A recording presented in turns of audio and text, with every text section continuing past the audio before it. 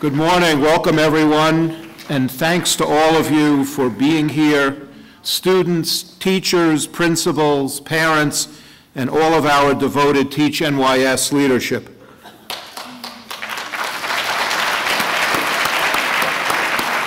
Today, today is more than a fun-filled field trip to Albany.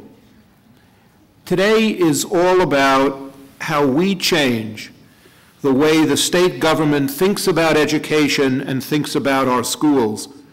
And it starts by bringing 500 students to Albany to talk to our elected officials and to explain to them that your education matters, that education is a civil right, that your right to choose how and where to be educated without financial hardship and without financial penalty is a civil right that every parent and every student in this state should enjoy. It means that every single student in this state deserves a quality education, regardless of their race or their gender, regardless of their religious persuasion or the type of school that they attend, that every student deserves the best possible education so that they can become informed citizens and productive contributors to the economic health of our state. But we're not quite there yet. We've started, but we're not quite there yet. Consider the following. There are 412,000 students in New York State who don't attend public schools. That's about 16% of the total New York State school population. But that 16% of New York State students receive about 1% of the dollars that New York State spends each year on education. 16% of the students, 1% of the dollars. How can anyone believe that such a system is even remotely fair? Think about this. New York now spends about $20,000 each year to educate a student in the public school system. So do the math. 412,000 students in the state don't go to public school. The state doesn't pay a nickel to educate them. So we're saving the state over $8 billion a year in money that they do not need to spend and instead we shift that burden to the parents of those students. Can anyone argue that this is remotely fair? Shouldn't some of these savings, not all of them, not even 50% of them, but some reasonable proportion of those savings, shouldn't those come back to our communities and to our schools? These are serious questions. And so we come together today from Flatbush and from Ramaz, from SKA and from Solomon Schechter, from HALB and SAR and North Shore, from Magen David and from HANC and HAFTR and a dozen other schools, a dozen other yeshivot and day schools, we come together today to ask our government officials these very tough questions and to ask them to do what is right and what is fair. And we have a very, very special guest this morning who's waiting backstage, who has been fighting together with us to move the needle of fairness on state aid to non-public education, Governor Andrew Cuomo.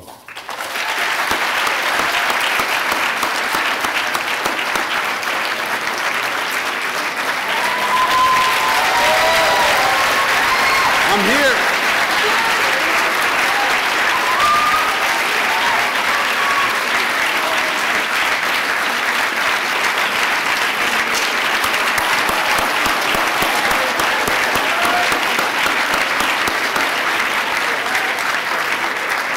I want to tell all of you, and I'm proud to be able to say this publicly and loudly and without reservation, there is no governor in the history of our state who has done more to fight for our community than Governor Cuomo.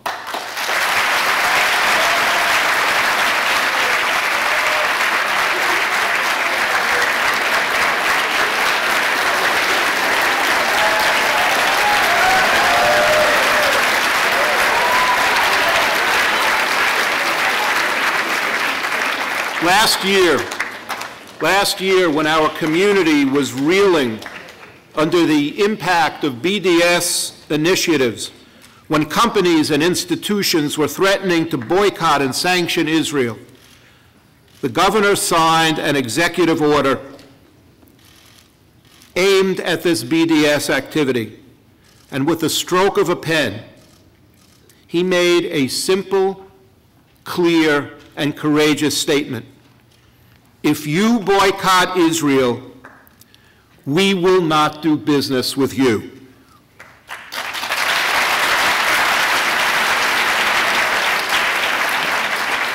And let me tell you what happened. Because if you want to understand what one courageous person can do, how one courageous person can change the entire face of our nation and what goes on across our country, after the governor signed that executive order, 40 other states followed the governor's lead and outlawed BDS activity.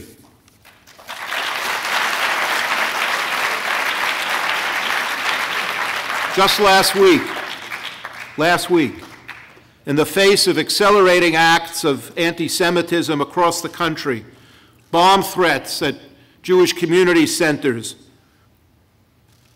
Jewish schools, swastikas painted on the walls of our subways and in the playgrounds of our schools.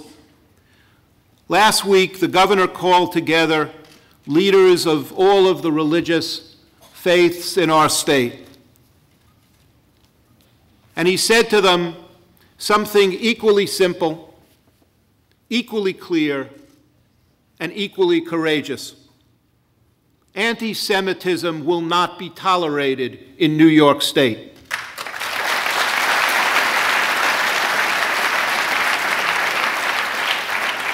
Because in New York, if one person is attacked, every one of us is attacked. And when the governor says something, it's not just words. He publicly announced that day last week that he was proposing to the New York State legislature an allocation, an additional allocation of $25 million for security services to keep our schools safe.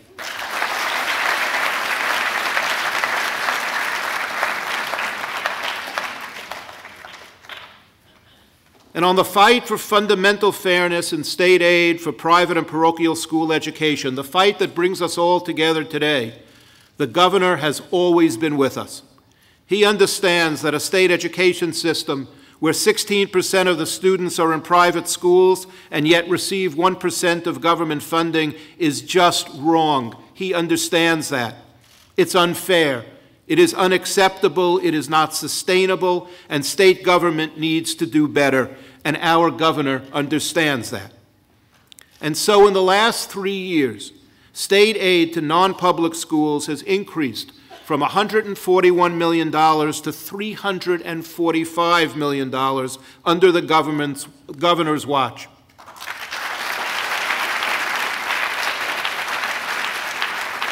So the needle is moving but it needs to move a whole lot more and a whole lot faster.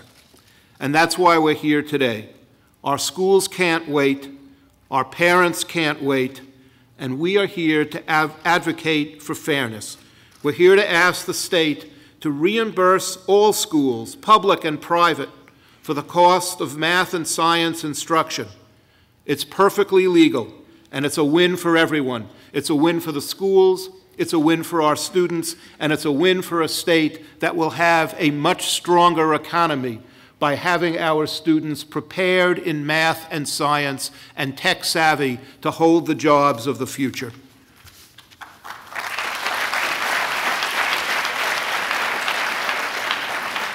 So, Governor, I want to conclude. I want to conclude by thanking you, but I want to thank you twice. First, for everything that you have done for our community, for fighting for us and for standing with us.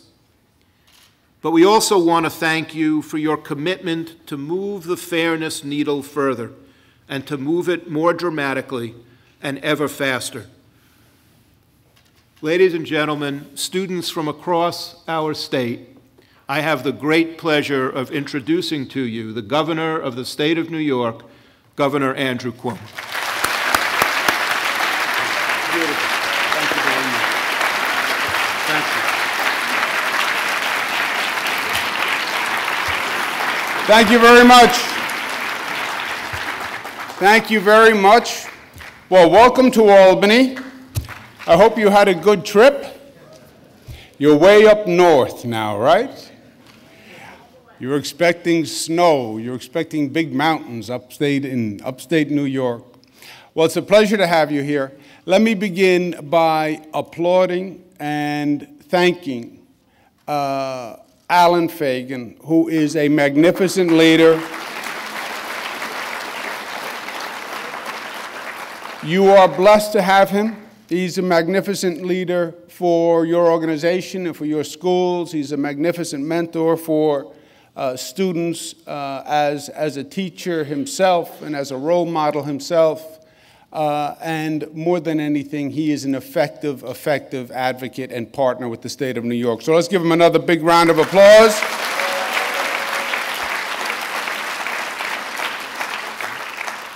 I agree with Mr. Fagin's message. He is exactly right. Uh, education, education, education, that's what it's all about. That's what made New York, New York. That's what made America, America. It said you can come here and we promise you one thing, one promise. We'll give you the ability to rise as high as your talents will take you, and we'll give you a world class education. And we have basically two education systems in the state of New York. One is a public education system, public schools, which are very, very important and we support. And then we have religious schools. I'm Catholic. My parents chose to send me to a Catholic uh, elementary school and a Catholic high school I went to. I'm from Queens, and uh, I went to Catholic elementary, Catholic high school. The religious education was important to my parents the way it's important to your parents. Uh, and the religious schools, Jewish schools, Catholic schools, Muslim schools, are a very, very important part of our educational system. First, because people have choice. Your parents had a choice. They could send you to a religious school, they could send you to a public school. My parents had a choice, and that choice is important to us. And we respect that choice. And we want to make sure everybody has that choice. So the sustainability of the religious schools is very important. Second, if you didn't have the religious schools, if you didn't have uh, the, the Orthodox Union educating 200,000 students, they would go to the public schools. And if they went to the public schools, frankly, our current public education system couldn't handle it. So if you want to preserve the public education system, you have to make sure that the religious education system stands strong. So,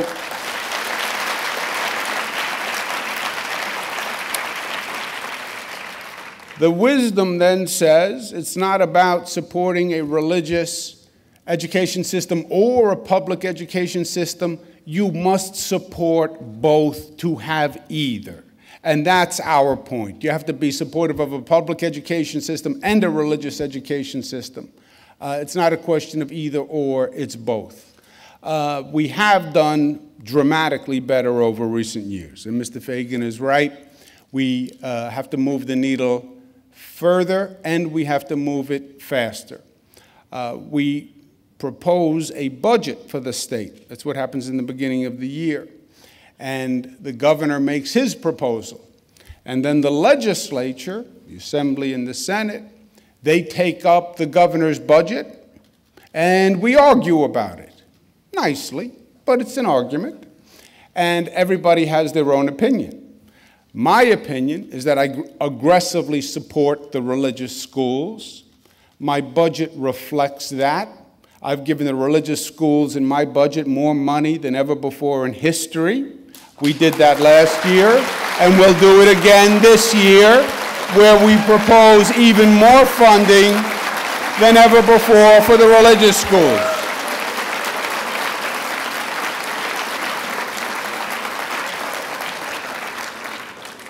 We increase what we call uh, the funds for mandated services. Then we provide $25 million for capital money to make sure we have technology in schools. You're doing extraordinarily well, uh, teaching students the skills for the next generation, the STEM skills. That is about technology, but then you have to have the technology in the classroom.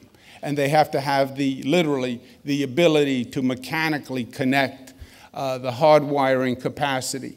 So we have $25 million additional this year for that capital improvements to schools. And as Mr. Fagin said, I announced a proposal for an additional $25 million for security for religious schools, given all that's going on.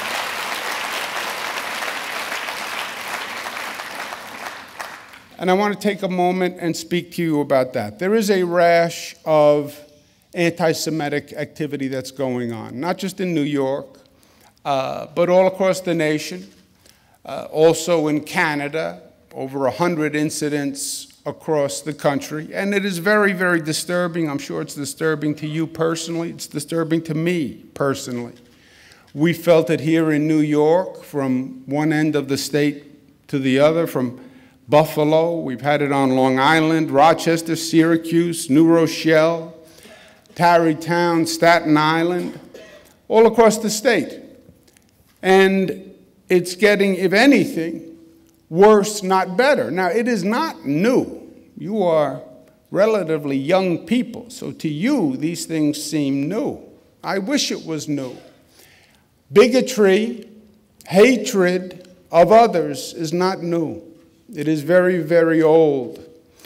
The old equation still exists. Anger plus ignorance equals ugliness. Anger plus ignorance equals ugliness. And that's what you're seeing now. People are angry. Angry at the economy, angry at their job situation, angry at the threats that they're feeling from other countries. They're angry and they're ignorant. And you put those two things together and you get the lashing out and the bigotry and the meanness and the cowardice that you see in these threats. That's the ugliness. It is repugnant to everything we believe as New Yorkers. Everything we believe. You're Jewish, I'm Catholic, my forebears were Italian. New York made one statement to the whole world. New York said, We will open our arms to you and we will invite you in. And people from all over the world came to New York, came to America. We are all from someplace else. By definition, unless you are Native American, you're a newcomer. Everybody.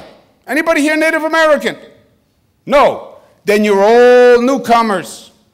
You're all immigrants to the land. And no one has a right to say who should be here or who should not be here. That's the New York way. We're all here. And the promise we make to each other is we're all equal and we're all free from discrimination and we're all free from stereotype and we work together to provide opportunity for all of us. That's what New York is. So these threats are disgusting, they're sad, they're repugnant, they're cowards. I went this morning to the Jewish Community Center here in Albany. Children, pre K, daycare, you would threaten a place that has children, what could be more reprehensible than that type of behavior and that type of activity? Now, it's not just disgusting, it's also illegal. And as governor of the state, I want you to know I am doing everything I can to enforce the law, to find these people, to bring them to justice, and to give them their due. We have.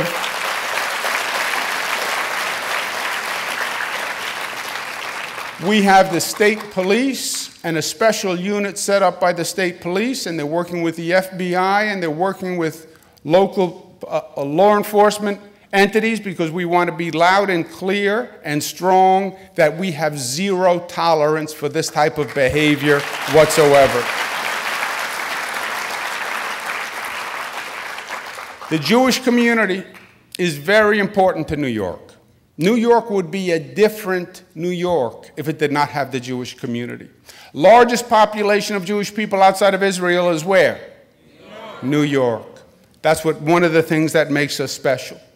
You look at our tradition, you look at the tradition of this nation. So many of our great leaders, so many of the people who contributed to shaping America were Jewish. Benjamin Cardozo, one of the greatest jurists ever, a great jurist who's now on the Supreme Court, Elena Kagan, who I had the opportunity to work with, a great governor of New York, Governor Herbert Lehman, Great Attorney General Lefkowitz, great Senator Jacob Javits before your time. Beautiful, beautiful man. Going back to when the nation was just formed, the poem on the Statue of Liberty, written by Emma Lazarus, a Jewish woman.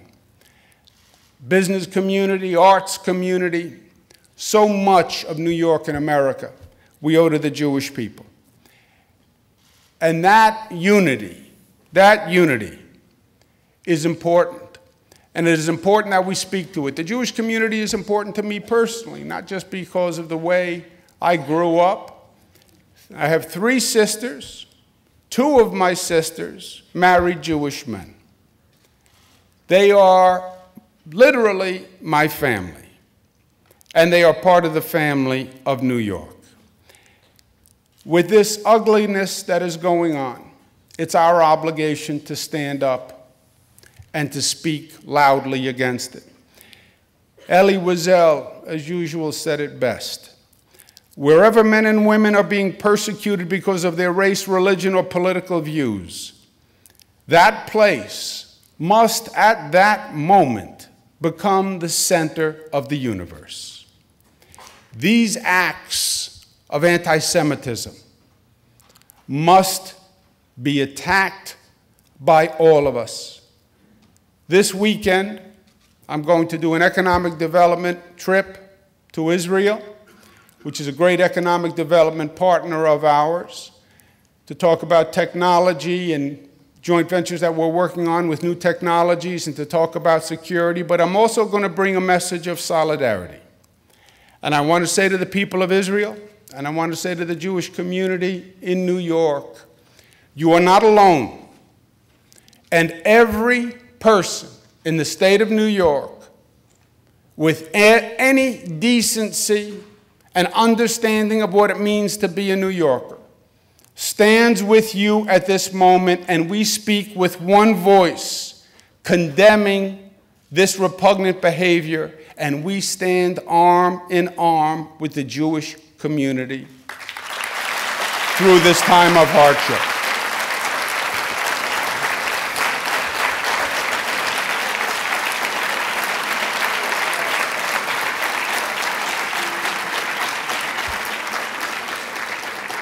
I say that to you today. I say that to the, we'll say that to the people in Israel this weekend.